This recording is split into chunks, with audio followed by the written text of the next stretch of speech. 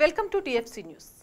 ఏపీలో రాజకీయాలు రసవత్రంగా సాగుతున్నాయి. ఇక ఎప్పుడు టీడీపీకి సపోర్ట్గా నిలిచే సినీ ప్రముఖులు ఈసారి వైసీపీలో చేరడం చూస్తూనే ఉన్నాం.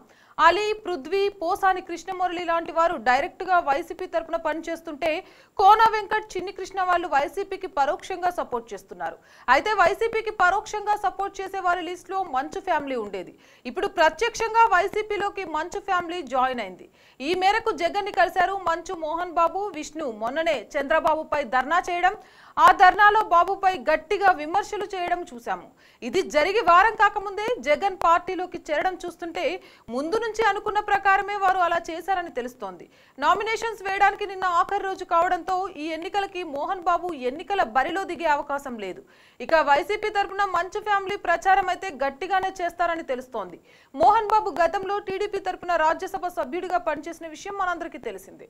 ఏపీ పాలిటిక్స్కి సంబంధించి మరిన్ని ఇంట్రెస్టింగ్ అప్డేట్స్ తెలుసుకోవాలి అనుకుంటే టీఎఫ్సీ న్యూస్ని వెంటనే సబ్స్క్రైబ్ చేసుకోండి. మా ఈ వీడియో నచ్చినట్లయితే లైక్ చేయండి షేర్ చేయండి.